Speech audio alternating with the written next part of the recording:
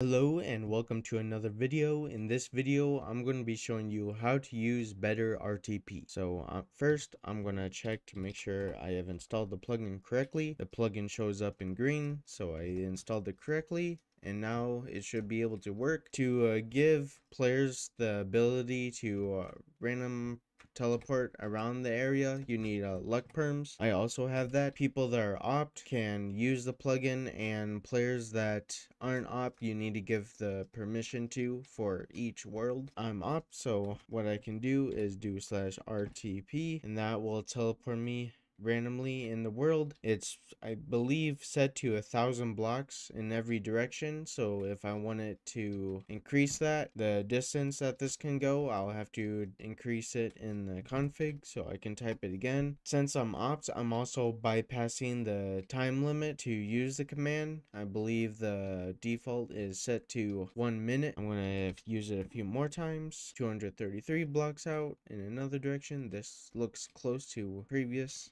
teleportation area. Teleport again. And now we're in a different spot. And now I'm going to go back to here. All right, now let's take a look at the configuration. This is the config.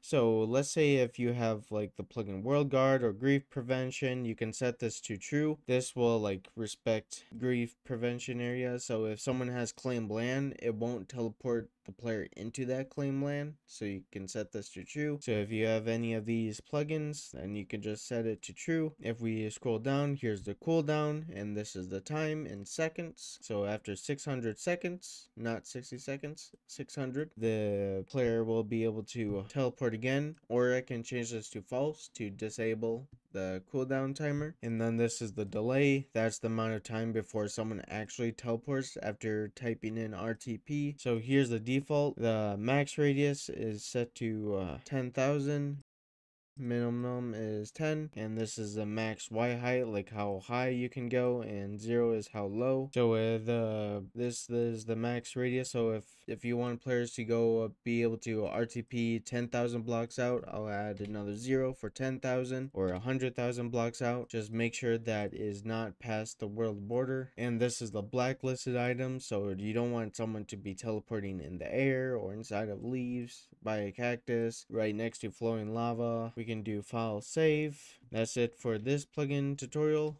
See you in the next one. Bye.